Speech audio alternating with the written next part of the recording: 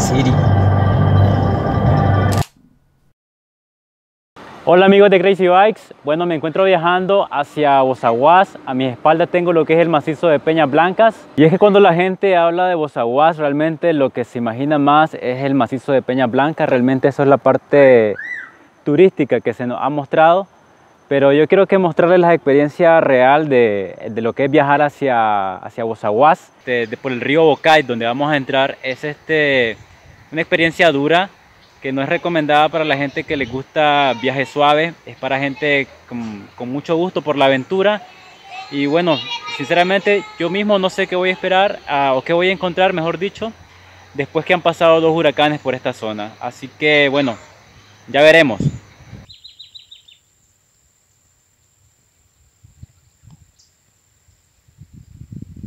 Esto se llama Pijibay, para los que no lo conocen.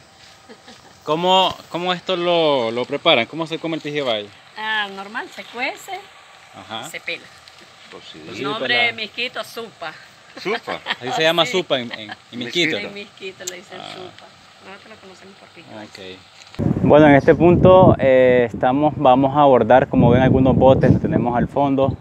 Esto es el, el puente del, de, de Ayapal. Hay bastante destrucción, eh, el agua subió bastante, aquí se destru destruyó algunas casas. Eh, el viaje se pone más interesante en este punto. Si ven, voy preparado con mi camarita GoPro. Vamos a hacer algunas tomas a ver qué sale por ahí.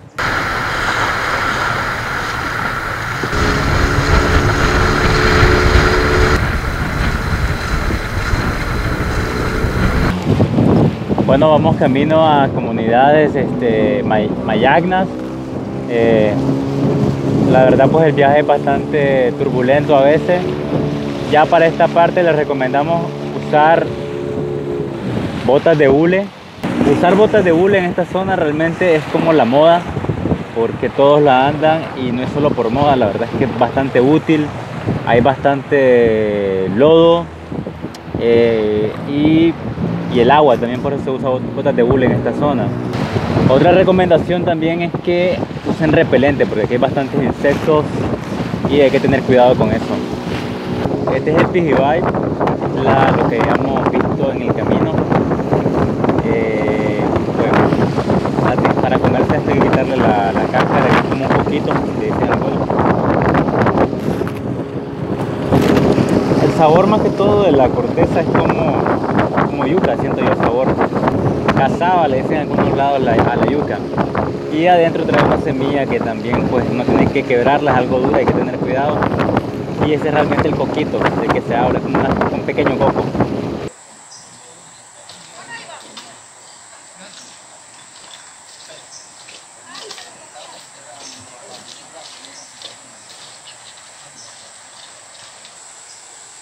Como pueden ver aquí bajó con el, con el motor todo ese trecho que es súper lodoso hasta ponerlo ahí en el bote. Ahora estamos en Pilahuas. Eh, les explico un dato. Hasta Yapal son aproximadamente 300 kilómetros en, carretera que se pueden hacer en vehículo. Llegando a Yapal, ahí hay un puerto donde se toman los botes para viajar sobre el río Bocay.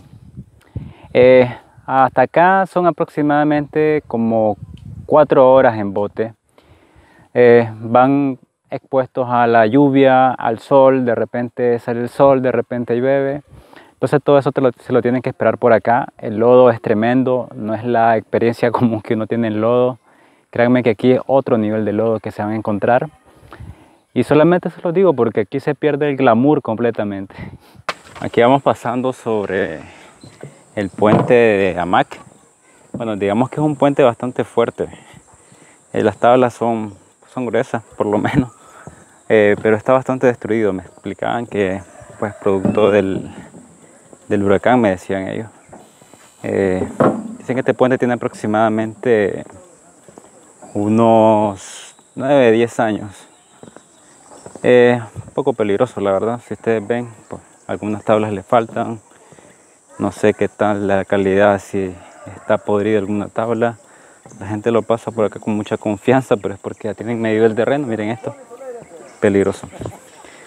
Eh, pero bueno, es parte de la aventura acá en Bozaguas. El viaje a través del río Bocay pues, puede ser algo relajante, muchas veces hasta, hasta da sueño eh, por la tranquilidad, pero hay momentos que se vuelve algo extremo, pero extremo de verdad, porque uno pasa por los rápidos. Los rápidos serían más que todo este, los lugares donde el agua es turbulenta y uno a veces está en eso y piensa, bueno, esto no es un sueño, ni, siquiera te da tiempo de pensar, simplemente vas, vas hacia esa corriente y hay que pasar. Te salpique el agua, pues pero es una experiencia bastante intensa muchas veces. Por acá me explique que esos agujeros que ustedes miran por acá eh, son personas que tienen ataque de crisis signi. Crisis signi es como una especie de, bueno, como enfermedad mental, se se ha catalogado, pero muy propio de esta zona la gente entra en una especie de como de trance, se pone como violenta y algunos pues asumen que tienen más fuerza de lo común. Y bueno, eso lo han hecho con, con piedras, pues no, se lo imaginen que lo han hecho a patadas o es como, como algo, es como furia más o menos. Bueno, una de las experiencias un poco incómodas por acá a veces es ir al baño, me refiero a ir a la letrina, en este caso aquí hay letrinas nada más, eh, y de, de hecho, en algunas comunidades ni siquiera hay letrina, lo hacen en el aire libre. Pues la otra noche yo salí al, hacer la letrina y un cerdo me andaba siguiendo. Eso lo hacen comúnmente ellos porque ven donde las personas hacen sus necesidades y luego el cerdo llega y se come eh, el excremento pues, prácticamente. Eh, por eso yo no les recomiendo que coman cerdo en esta zona. Pero bueno, ese es mi consejo. Si ustedes quieren comer cerdo, eh, pues es su, derecho, pero sinceramente no se los recomiendo. Los mayagnas se refieren a sus ancestros, eh, quienes han vivido por toda una vida en esta zona, pero hubo una pausa en la historia de, su existencia en esta zona debido a la guerra que ocurrió en Nicaragua en la década de los 80. Eh, durante esa época ellos fueron retirados de esta zona pero al terminar la guerra en los 90, eh, muchos decidieron por su cuenta regresar a las tierras ancestrales, como ellos se refieren. Eh, pues sí, realmente como ellos explican, eh, fue regresar a la montaña completamente, a abrir terrenos que aún eran peligrosos porque existían minas antipersonales, como era zona de guerra, había minas, minas antipersonales, y pues eh, había muy poco apoyo, pero lentamente pues se han venido dando algunos proyectos y cosas que, de apoyo que han venido a ellos este, dándole cierto nivel de progreso, de progreso, aunque la situación pues todavía no es la ideal, pues hay muchas limitantes en este lugar. Aquí el clima siempre es así, por aquí vemos un día súper soleado, y por acá viene una gran lluvia. A pesar de todas las dificultades que uno tiene que pasar en este viaje en Bozaguas, eh, es indiscutible la belleza escénica del río, de las montañas, de cada uno de estos lugares, donde uno está realmente rodeado de un paisaje único, realmente de ensueños.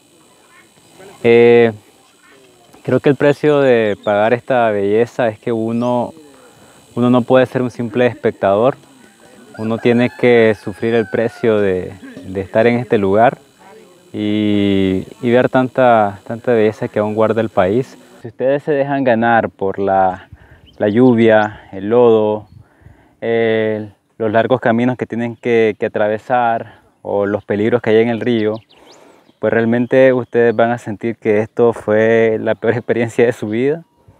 O si tienen la actitud adecuada, puede haber sido esta la mejor experiencia de su vida. Este viaje por Bozaguas termina en la comunidad de Rumflín. Si se están preguntando qué significa Rumflín, bueno, tiene una historia un poco rara. Hay una que me contaban que era de una persona que se había atorado comiendo. No le encontré mucho sentido a esa historia. La otra historia cuenta que una persona se encontró con un tigre y esa persona andaba un machete. El tigre le respondía con un rum, o como un ronroneo más de, que hacía el tigre, y él le respondía con el machete que le hacía fling, fling. Entonces unieron las dos palabras, Rum Flin, y ahí viene el nombre de la comunidad. Bueno, espero que le encuentre sentido a esa historia por lo menos. Y así finalizamos nuestro viaje por Bozaguas. Espero que esta información les sea de utilidad. Si un día ustedes quieren visitar esta zona para que sepan lo que les espera